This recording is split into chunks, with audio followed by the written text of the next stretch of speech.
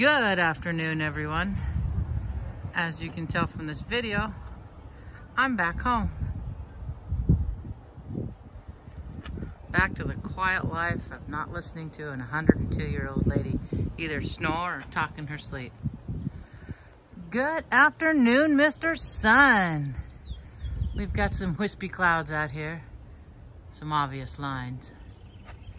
But it's good to be outside into the fresh air and the sunshine.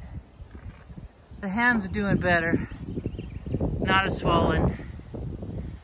You can tell where the, the major bite mark is. It looks ugly and I ain't gonna show you. But uh, we've got cherry cannons going off because cherries are being picked right now. But I just thought everybody ought to know I'm back home. All right, much love. I'm out.